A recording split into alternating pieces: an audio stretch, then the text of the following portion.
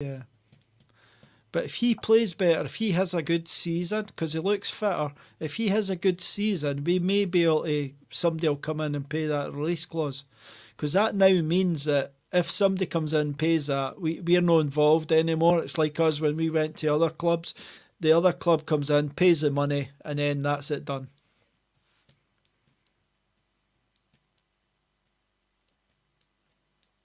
Coomber, you want Yeah, to speak? yeah. All right, yeah, I was going to say. So yeah, it's, it's in our best interest for him to ball out.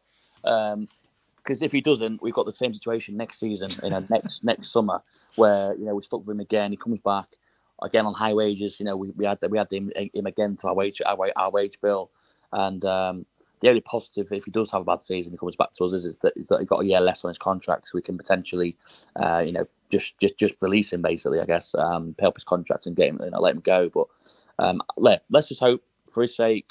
You know, I don't like the guy, but for his sake, he does well. Uh, we get a fee for him. Someone comes in for him, like I say, and then we get a fee for him, and then we can, you know, all, all go all go separate ways. But um, but yeah, there's there's a really um, really bad side of me that I really hope he fails. But then again, for the benefit of the club, obviously we have to make sure he does well so we can get that money for him. So it's, yeah, I have mixed feelings about it. You know, I don't want him to succeed, but I do at the same time. Financially for the club, it's better if he does.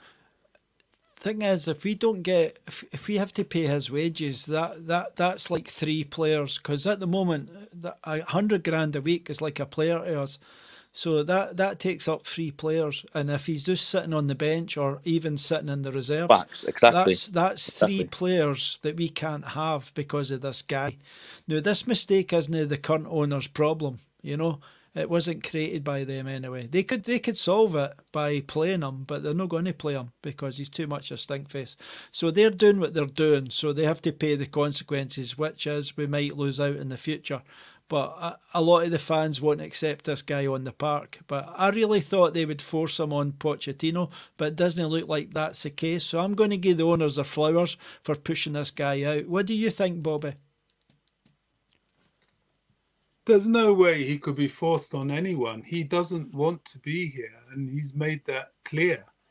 Um, you know, if we start to force him, that means we're just going to upset the entire dressing room. You know, as I keep saying, Romelu Lukaku has shown us who he is. He's shown us everything we need to know about whether he wants to be at Chelsea, what he thinks of Chelsea. You know, there's no compromise. The issue is to find a way to get rid of him. Uh, now, that way we found in a compromise in that we have um, managed to loan him to Inter. But, you know, it wasn't our choice. We wanted to sell him, but we couldn't because he didn't want to go to the places that were available for him to go to. Yeah, uh, we've got the poster boy for Chelsea's perspective here. I usually talk positively about coach. Uh, hashtag tap in merchant. tap in merchant. What what you saying about it today? Uh, you were on today, but I think Roger missed out. Uh, I loved I loved when I was out for the day and I put in we kidded on. We were talking about players. I said I was trying to sign you in the background and all that, and uh, negotiations were ongoing and things like that. You know, I loved all that banter. I love it, pal. What do you think? It's good banter, isn't it? Bobby. Sorry, I don't know why I'm struggling at the moment with my. Um, All right. What was that? It's great TV, isn't it? I'm No, saying I love the banter. I was out for the day today and I was doing a couple of little uh, tweets in on, on coaches chat on Chelsea perspective. All right. And it was quite funny. I don't know, you never spotted it obviously, but we were making I was making out I was trying to sign you and all that and it was going to go to transfer right. Oh, it was go. it was going to go to transfer deadline and, and all that kind of stuff. Eh? well, I, I was making out as if I was signing you and Roger and all that, you know. That was That's funny. a good one. That's a good one. What did he say? What Oh, price just- tag did he put on he- us? he- Aye, aye. He, he thinks he thinks I'm poaching you two, and he thinks that he, he's saying as well that I tie you out. Yeah, he needs to give us a wage increase. That's what it is. Yeah, that's it. Aye. I said I was getting you on a free, but I was having to pay a lot for Roger, obviously. Oh my gosh. Okay. High wages, laughing. Ermigy. High wages. High Aye, wages. aye. He, he's trying to poach Kun. He, he, he thinks po- uh, he thinks uh, Coomber's a starlet. He's trying to poach Coomber from me. I'm a Cobham boy, uh, Mitchie. I'm, yeah, I'm staying yeah. with you, man. I'm staying with you, man. Uh, with you. you. you know you're well looked after, pal. no, but Bobby, be, before we go, pal, what what would you like to say? Uh, how things is going in general, the club. I, I'm quite positive, but what are you thinking? I think we've done very well in the uh, transfer window. We really have. Um, one of, as I keep saying, saying one of the great um, outcomes, apart from all the players we've managed to get rid of, is the fact that Liverpool tried to mug us off and ended up mugging themselves off. You know, they threw big money at something and you wanted to financially outmuscle Chelsea, which is a bit weird. But, um, you know, in the end, they ended up making themselves look foolish and lost not only one target, but two. So, you know, that's a big win. The rest of it is look, we know we're a young team. I think we have the right manager.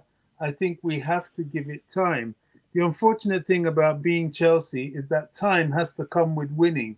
And, you know, we haven't yet shown um, we're able to do that. Yeah, the Liverpool game was good and we got a draw. That was good. West Ham was a disaster. I think we kind of let ourselves down. Um, is that expected? Probably. Uh, but, um, you know, we did what we should do against, uh, uh, uh what's his name? Luton. Um, but, you know, bigger tests are coming. And let's hope that um, we can now start to put something together that can keep our head afloat while we develop this team. I think eventually, when the team does come together, we're going to be quite formidable. But you know, it's going to take us a while, and I don't see us really coming together till sort of November, December time. And in the meantime, we've got to start, you know, racking up results, which is going to be a big challenge for the manager. But if anyone can do it, he can. The, the, the team does need time to gel and move forward, but look at this midfield. This could be sensational, Bobby. Yeah, absolutely. But I don't just look at the three. You know, I think squad depth is very important. And within that squad depth, I will include okay, Santos has gone on loan now, but there's Gallagher, there's Ugochukwu as well. Um, and of course, um, Carney, when he's fit, he tends to fall into that as well. But because he plays further up the field, um, he uh, is often not noticed as a midfielder. Yes, we have we we fixed our midfield in terms of personnel. Now we've got to get them playing together. Yeah, uh, what's your thoughts overall? Nice positive thoughts before we go, pal. Yeah, I mean, like I say, um, we we we definitely have an have an identity now. We're playing a lot better um, as a team. Um, obviously, the teams are playing for the manager. Clearly, it's it's, it's, it's clear as day to see. Uh, I can see, you know, we have a a vision, um, an aim. The players that are coming through, I'm liking look at them. Um, I think we've got, um, you know, made some really shrewd signings. Um, you know, players that no one's heard of before. Jackson, no one heard of him before we signed him. Um, but we've got him in and he, he looks fantastic. Um, Disasi, no one really sort of was in for him. Uh, never heard of him, but we signed him and he, he looks he looks strong, um, stronger than probably could be and, and, and other players that, that, are in that position. So you have to give the recruitment team their props. You know they've, they've done well this summer, um, and we've got many of the targets that, that was after. Um, not not only because we spent the money, but also because we are an attractive every player that comes to the club, they always talk about you know the the um, the vision and, and the project and how how they was impressed with it. So obviously the owners are selling them a, a, a dream, and you know we, we we have to sort of look forward to that. And um, I'm very optimistic for the future. Um, I think we've, we've, got huge potential under Pochettino. We have to, like um, um, he said, um, we have to sort of win as we, uh, you know, as as we have time. We have to still win because um, there's a lot of pressure on, on to, know, to win things from the fans and, and the club as a whole after the success we've had over, over the past 20 years. So, um, yeah, I think it's strong times ahead. Uh, there's a lot to look forward to. And uh, yeah, I think we're for um, a really good ride, 100%. Uh, big up to Blue Lounge. I- will subscribe to you, pal, and I'll tune on on deadline day because I'll be working that night. So I need something to listen to while I'm working, guys. So everybody subscribe to Blue Lounge and watch him on deadline day. He's doing a wee stream. Right, so Bobby, everything seems quite positive. What I have to do is take everything game by game and hopefully it works out. And I think, given time, a lot of these boys are really good players the main thing is through this transfer window is getting rid of the stink faces, getting rid of Deadwood and stuff like that. There's a few players I didn't want rid of. That that is for certain. But we've got rid of the players that we really need to get rid of. It looks like Lukaku's gone. Uh, Cho's no such a big deal, things like that. I, I think Lukaku's the last one, and then I'm quite happy. What do you think, Bobby? I'm struggling to think which players you wouldn't you wouldn't have wanted us to sell that we sold. Um, I, I like I'd like I like Mason Mount and I liked Havertz. But they didn't want to be with us. I know that, but it doesn't matter ins and outs. I'm just saying they're players that I liked at the time. But what's happened now is I understand about the way the club are going. They're only going to pay a hundred grand a week and stuff like that. So yeah. what I think I, have got it all sorted in my mind now, Bobby. I've I've came full circle. Uh, I think they would get rid of Sterling if they could, and I think the the model is hundred grand a week plus incentives. That's what I think it is. Um, I don't know for sure, but looking by the players have offloaded. Plus, like you say, if somebody doesn't want to be there, they move you out. If you want to sign a long term contract, they'll move you out. When you get onto your last two years, they move you out that's what I think, Bobby, and I've came to terms with that. Yeah, yeah, um, I, I think so. Uh, Sterling, well, yeah, I mean, he's playing to maintain his high wages, isn't he? Um, you know, if he does well, he stands a chance to stay next season or indeed be sold to someone that will be prepared to pay him what he's earning now. So he has every reason to fight. Um, you know, I, am not unhappy with the people they've let go of. I think it's very, very important that we um, have players that want to be with us. Um, I, I, really do. Um, you know, these players that we liked, and we found out that, you know, they were trying to force the club into a pay structure that um, was not beneficial to the club you know, I, am all about Chelsea. I'm not, you know, I, I can let go of anybody really. You know, Loftus Cheek was a player I really, really, really liked. But when it was time for him to go, he had to go. Um, so I, I, think our business has been excellent. So, you and uh, if we can crack, put the icing on the cake and get rid of Cho and Malang Sarr, um, and uh, uh, uh, who else is left? Hashtag Bobby out.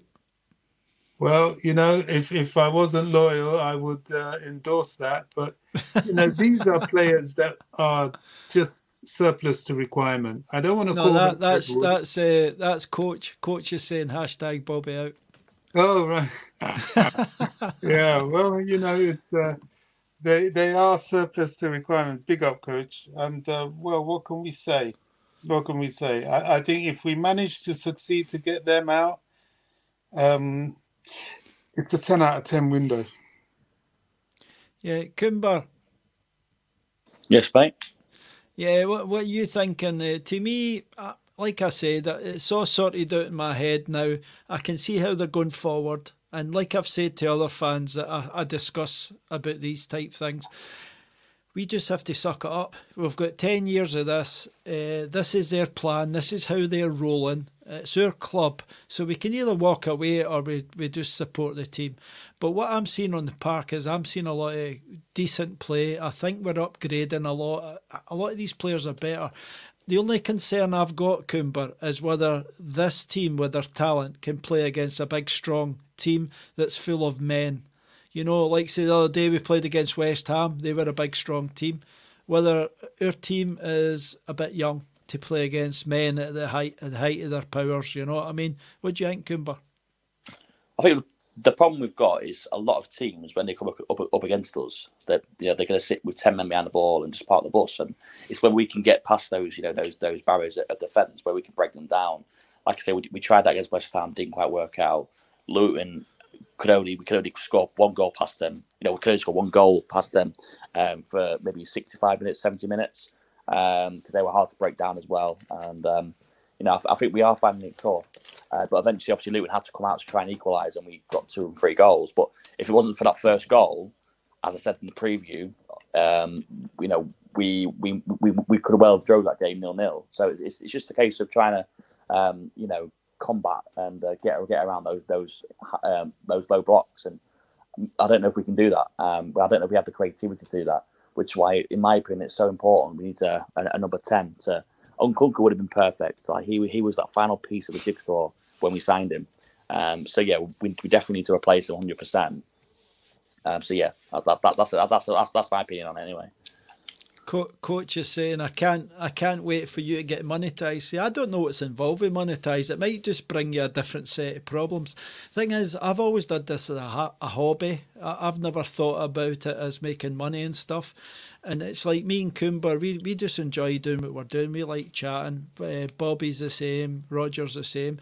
I think us fans, we just like talking about the subject matter. We like analysing all this kind of stuff, and other people find it entertaining to a certain extent, so it's cool. It's like I watch other YouTube all day, so it, this is just the same sort of thing. It's just that we're lucky, Coomber, because we're getting to actually yeah. put our point of view out there Whereas when you're watching other channels and things like that, or you're in live chats, you, you you've not got much of a voice. We, at least we're getting a voice, Coomber. What do you think, Paul? Exactly that, mate. Like you say, I look on the show because I feel like I've got a platform. Uh, whereas, like you say, in live chats and just talking on, on, the comments, you don't really get mentioned really, unless you donate. I think that's one of the one of the things that monetization does for you. Mick. It's cost me a fortune, Coomber. Uh, yeah. Uh, what, what I'm saying is right. Uh, Johnny um, Minerals know, channel and sometimes exactly, on Lucy's channel. Used, that's how I know you because I used to see you sort of you know sort of donate dating all the time. But I think one of the things about monetization, Mitchy, is not only do you get YouTube money, but you also people can donate then as well. So you get a yeah. lot of donations stuff like that. So it's not just it's not just YouTube money. People can also donate to you if they if they want to make a comment or if they want to you know if you uh, to support the channel, etc., etc. So, so yeah, that's one of the good things about. Um, is it 100, 100 uh, 1k subs to be able to get monetized? Yeah, um, I, I, don't know what I'm at. How many now. views? A certain number uh, of views as well. I'm at 957, so I need 43 subscribers. I'm already over. I'm, well. I'm already over 4,000 viewing hours. I passed that the other right. night. Sure, sure. So I've got the viewing hours. I just need subscribers. But yeah, the thing is, you can't take subscribers for granted. You might get one a day, you might get none a day. You might lose subscribers. Might lose you know, I lost two the other day, but I gained three the same day. So I lost two, and then I gained three. So you don't know what goes on sometimes. Could be Man United supporters, could be Liverpool supporters. You know, it might be bar- supporters that have like subscribed just for that, just for, for their game that coming up. Yeah, just so they can come in and troll. They come yeah. in and troll Coomber, and then and then no, they no, no, unsubscribe. Well, so, no, it's what I mean is right. So say if, if we're playing United next week, right, they might subscribe for that one week, and then yeah. as soon as the game's over, they might then unsubscribe to you just because the game's finished. You don't know, do you? So yeah, yeah, they could be a bit salty as well, but yeah, especially uh, maybe uh, Luton fans. Yeah, the Liverpool supporters will not be happy with us. Yeah. I mean, I will uh, tonight. I, I knew you guys were coming on, so I never asked John and and Kieran to come on but uh, I'll have them on at some point. But it's a bit salty with them at the moment. Uh, because they think we're criminals. I hope you realise that. Yeah. Eh? yeah, I remember. Yeah, I remember when John was like almost like low key, um, sort of bitching about and insulting the club, and uh, he was attacking the club a little was, bit. Yeah. And you know me, I'm. I'm you, not, for like like uh, defending the club. You know, I respect yeah, I, I'm, I'm not up for that. I don't think Chelsea fans want to listen or see that. I certainly wouldn't be constructive criticism is the right word. Don't obviously then stop bitching. Aye, but I'll I'll discuss it. I'll discuss it and I'll explain what's happening. But just flinging out accusations and all that. And yeah, it's, it's, it's no good. It's no good. Uh, the thing is, see, all the clubs in the world, they're, they're all dirty. It's like I don't know. Somebody used to say to me that millionaires are all criminals because to become an, a millionaire, you have to bend a lot of rules like. It's like Trump and people like that. They've did a lot of bad things in the past, type thing. You don't get sure. to that stage without trampling over your granny, type thing. Sure. So uh, it's just that you know every club will have like their hands dirty.